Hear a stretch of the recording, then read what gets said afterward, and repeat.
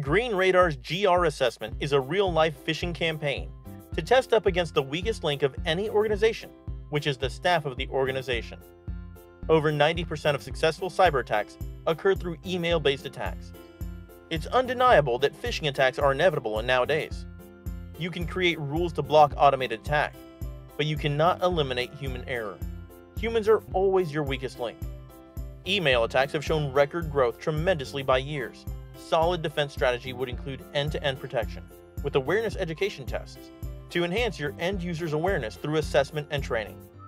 1. Green Radar's SOC team designs the scope of phishing emails with customized email templates.